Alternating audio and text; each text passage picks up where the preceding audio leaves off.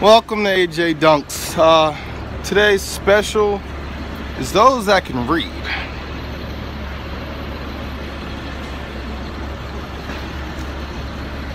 What?